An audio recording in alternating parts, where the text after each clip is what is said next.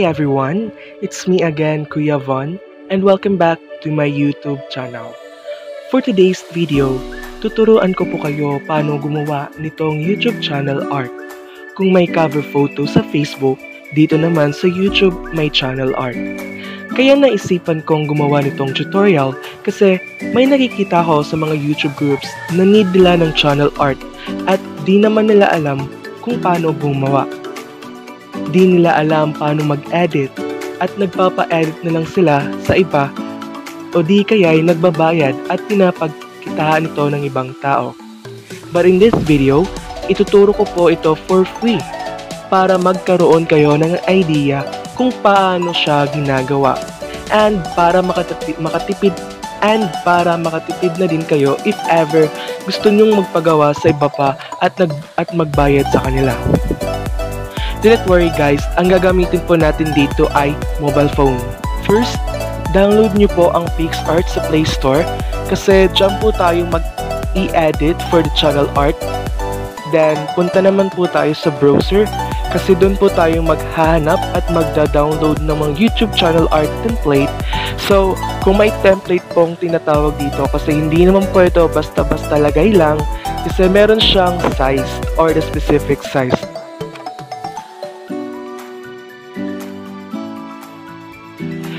Dito sa template na ito, makikita nyo po kung ano ang lalagyan, lalagyan yung text at hindi nilalagyan ng text kasi pwede siyang nung mag-pass. Ganon. Next,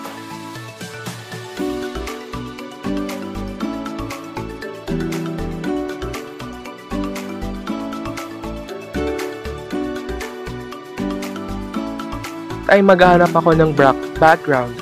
Yung gusto nating background para sa ating channel art.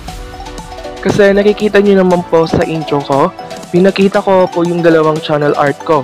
Yung unang pic yung nakaraan lang na channel art, while the other one yung bago lang siya.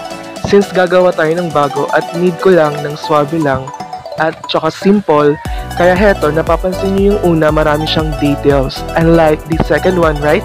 Kasi simplicity is beauty, ganon.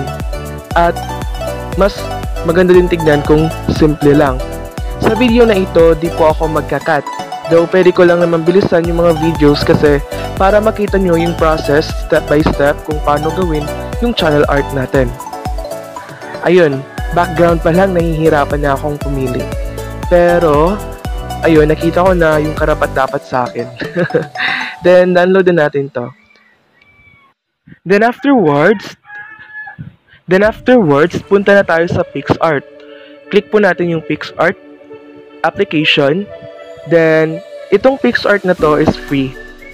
Is na free lang po siya. Yes, pwede na siyang gawin through offline.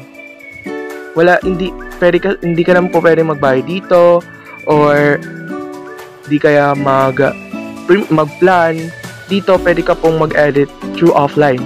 So sa ngayon, ipapakita ko po sa inyo kung paano gawa, gawin ito ng ating channel art through offline. So, i-off ko lang muna yung wifi namin. So, para maniwala po kayo. So, yung picture na dinaload kanina, nakikita nyo naman po sa taas, ta yung pong picture na yan.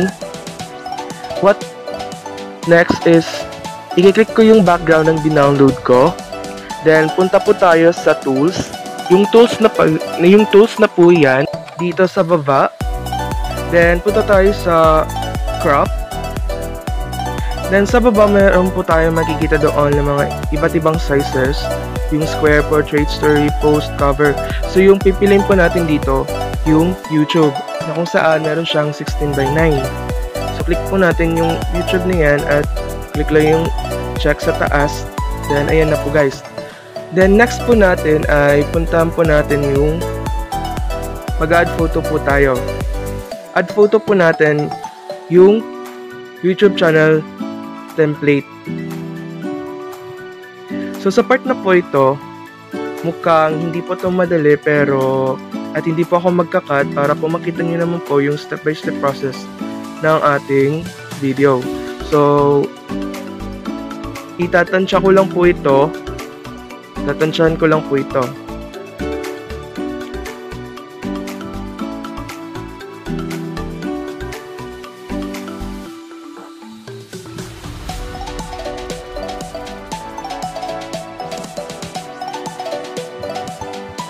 Since di ako magkakat, matagal-tagal yung exposure ng template ko. Alright? Ayan, zinom ko muna yung template. Makikita nyo naman po na meron po tayo mga colors dyan, color coding. The, meron pong gray, light gray, at white. So ano pong ibig sabihin nito?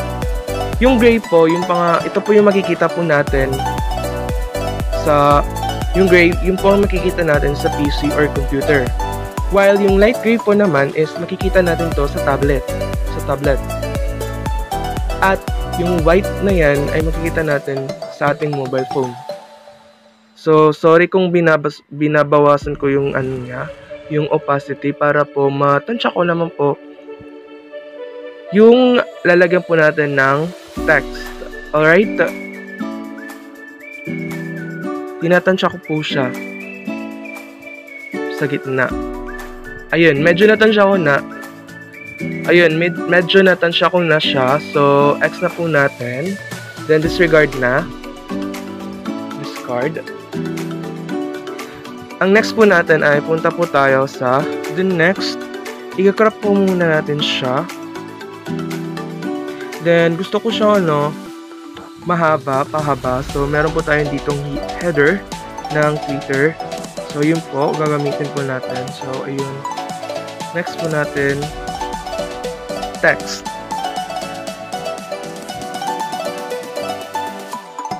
So, sa part na po ito, pwede na po nyong gawan yung channel art ninyo. Pwede nyo pong lagyan ng photo, clips, text, and ano pa. At iba-iba pa po dyan na, na, na naiisip ninyo. So since yung gusto ko po ay yung simple lang at saka yung pangalan ko lang yung ilalagay ko sa aking channel art, yun lang po ang aking gagawin ngayon ito yun lang po yung mas madali at yung simple, simpleng bagay na aking gawin sa aking YouTube channel art.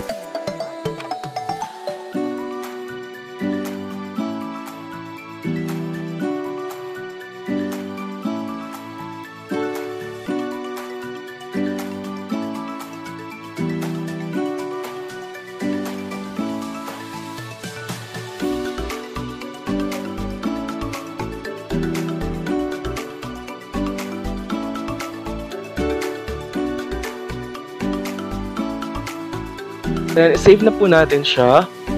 Then, after po natin ma-save yung ating ginawa, ulitin po natin yung unang ginawa natin kanina. Yung dinownload po natin kaninang background, then punta po natin yung tools, i-crop po natin sa YouTube na template. Then, i-add photo po natin yung, yung in-edit po natin kanina. Then, sa part na po ito, dito po malalaman natin kung ang aking pagtatansya-tansya kanina sa pagtatansya ng ating channel art. Lagay ko na siya sa gitna at dun ko senior, senior kung tama ba tong aking nilagay kanina like yung pag tansya tansya pagtatansya tansya ko ng template. I think okay na siya. So check lang po natin. Then i-save na po natin ito. Ayan, ganun lang kadali. Meron na tayong YouTube channel art. Next, palitan na next, palitan na po natin yung ating YouTube channel art at puntan po natin yung YouTube channel, ah, yung YouTube channel po natin sa Google Play Store. I mean sa sa ating browser.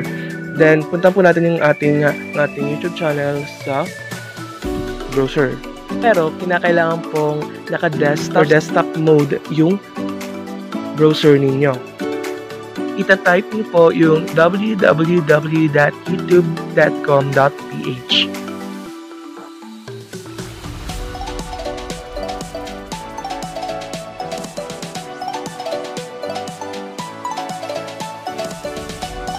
Ayan, naka-desktop site na po tayo. So, ganito po yung larawan o itsura, itsura ng naka-desktop site ng YouTube channel. Next, puntahan po natin yung sa right side. Yes, sa right upper side ng YouTube channel natin. Then, i-click nyo lang po yung figure nyo, yung picture po natin. Click lang po ng My Channel. At doon, mapupun madadirect po doon yung channel po natin.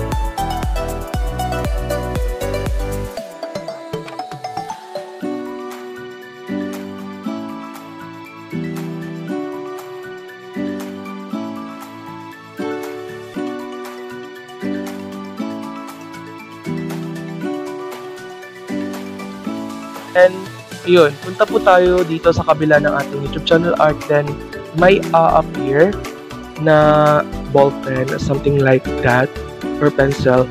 It means edit po yan. So, click po natin yan.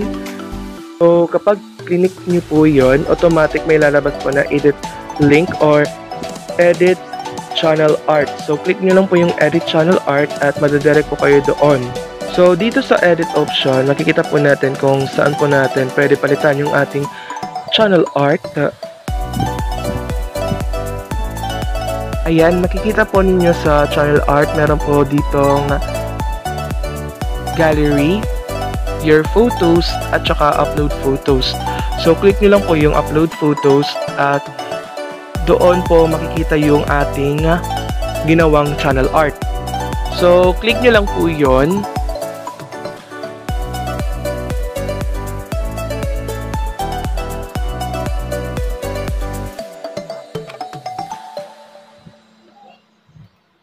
ay dito na po tayo sa part na may nakalimutan po akong gawin sa ating uh, YouTube channel art kasi meron po tayong naiwan o na lampasan na step yung pagbibigay ng size ng ating size sa ating channel art. Since the photo that you uploaded is too small, it must be at least 2048 pixels wide and 1152 pixels tall. So yung gagawin lang po natin, punta lang po natin yung PixArt. Madali lang po ito. Then, may crop sa tools po yon meron po doong free size. So, edit lang po natin sa need na kailangan ng ating YouTube channel art.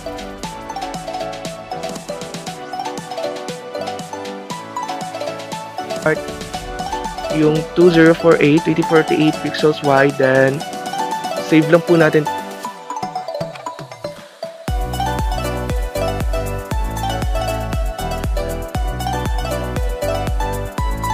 To then yun punta ulit tayo doon sa ating YouTube channel. Then edit po natin. Then save save at saka ayun. Pwede na po natin gawan at napalitan na po natin yung ating YouTube channel art.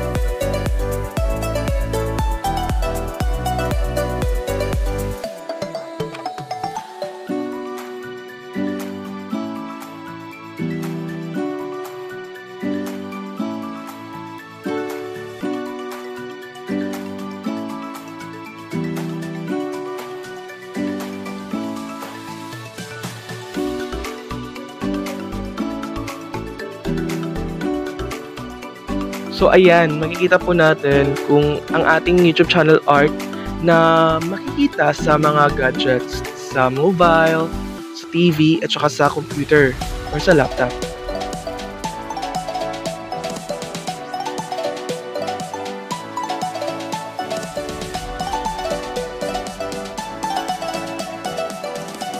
And ayan, meron na po tayong channel art.